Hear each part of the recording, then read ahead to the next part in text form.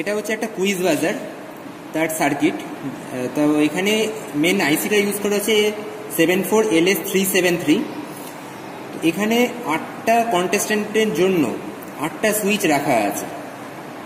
আটটা কন্টেস্টেন্টের মধ্যে আমরা প্রথমে আগে সুইচটা অন করলাম power supply power supply on করার পরে যে আটটা কনস্ট্যান্ট কন্টেস্টেন্টের মধ্যে যে আগে প্রেস করবে সুইচটাকে অ্যান্সার দেওয়ার জন্য তারটাই শুধুমাত্র ইন্ডিকেট করবে। সেই সুইচে করসপন্ডিং এলইডিটা ইন্ডিকেট করবে অ্যাজ ওয়েল অ্যাজ বাজারটাও এখানে বাজতে থাকবে।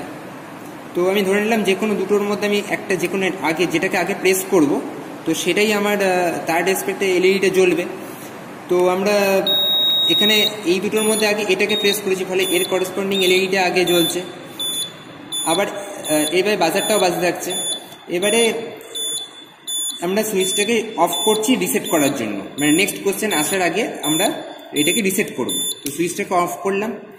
আবার সুইচটাকে অন করার পরে আমরা যে কোনো একটাকে, অন্য যে কোনো দুটোকের মধ্যে যেটাকে আমি আগে প্রেস করব, সেইটার রেসপেক্টে যেটা এলইডিটা জ্বলবে, যে যে আগে সুইচটা প্রেস করবে নেক্সট কোশ্চেনের সময়, তো তার এগেনস্টে এলইডিটা জ্বলবে। তো এই দুটোর মধ্যে এইটাকে প্রেস করেছি, ফলে করসপন্ডিং এলইডিটা জ্বলছে। মানে এর আগে, সবার মধ্যে এর আগে সুইচটা প্রেস করতে পেরেছে এবং অ্যান্সারটা দেবে। তাকে অ্যান্সারটা বলার চান্স দেওয়া হবে।